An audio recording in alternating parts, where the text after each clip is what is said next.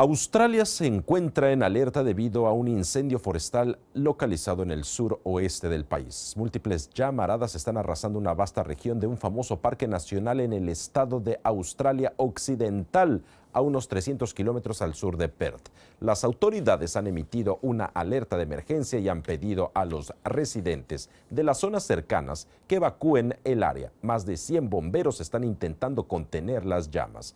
Las autoridades han anunciado que el incendio se está propagando con celeridad debido al calor y al viento y que el fuego ya ha calcinado más de mil hectáreas.